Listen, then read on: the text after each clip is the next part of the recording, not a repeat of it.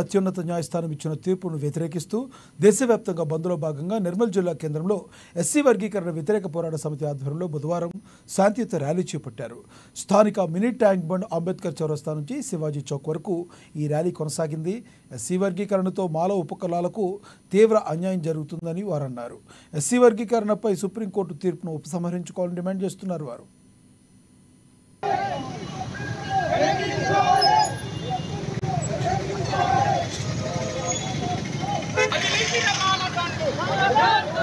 కదిలింది రమాల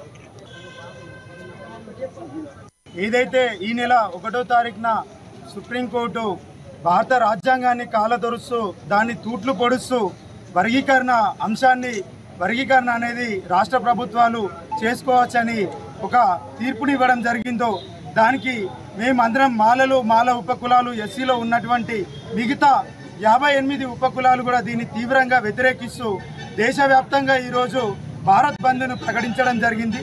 దాంట్లో భాగంగా ఈరోజు ఎస్సీ వర్గీకరణ వ్యతిరేక పోరాట సమితి ఆధ్వర్యంలో నిర్మల్ జిల్లా కూడా బంద్ని ప్రకటించడం. ఈరోజు జిల్లా వ్యాప్తంగా కూడా అన్ని మండలాలలో అదేవిధంగా తాలూకా పట్టణ కేంద్రాలలో కూడా ఎస్సీ వర్గీకరణ వ్యతిరేక పోరాట సమితి ఆధ్వర్యంలో బంద్ను నిర్వహించడం జరుగుతుంది కాబట్టి ఇటువంటి తీర్పు అనేది ఏదైతే సుప్రీంకోర్టు ఈ నెల ఒకటిని ఇచ్చిందో అదే సుప్రీంకోర్టు మరి రెండు వేల నాలుగులో ఈవి చిన్నయ్య గారు కేసు వేసినప్పుడు ఇదే సుప్రీంకోర్టు ఐదుగురు బెంచీలతోటి ఆర్టికల్ త్రీ ఫార్టీ వన్ని సవరించకుండా పార్లమెంటులో చట్టం తీసుకురావాలి.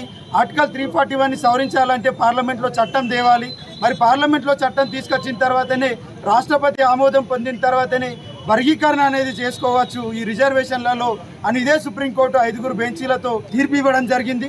మరి ఈరోజు అదే సుప్రీంకోర్టు కొన్ని మతశక్త పార్టీలకు లోబడి లొంగిపోయి ఈరోజు రాజ్యాంగానికి వ్యతిరేకంగా బాబాసాహెబ్ అంబేద్కర్ రాసినటువంటి రాజ్యాంగాన్ని తూట్లు పొడుస్తూ రాష్ట్ర ప్రభుత్వాలకు వర్గీకరణను అప్పచెప్పడం అనేది దీన్ని మాలలు మాల ఉపకులాలు తీవ్రంగా